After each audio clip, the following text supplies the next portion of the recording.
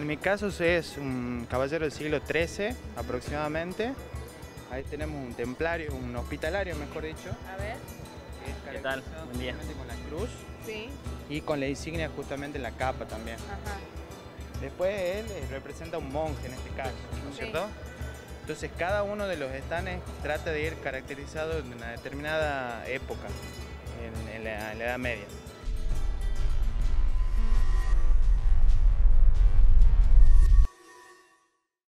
El fin de semana que viene, 13 y 14 de agosto, vamos a organizar la segunda edición de La Encrucijada, un mercado medieval eh, para toda la familia. Va a haber artesanías, patio de comidas, música en vivo, un poco de todo. Va a ser de 8, eh, de 12 del mediodía a 8 de la noche. ¿A dónde va a ser? En el complejo Ledesma. Eh, bueno, nosotros siempre ah, tratamos de, de dar información sobre la época, nos gusta difundir mucho lo que es la historia del momento.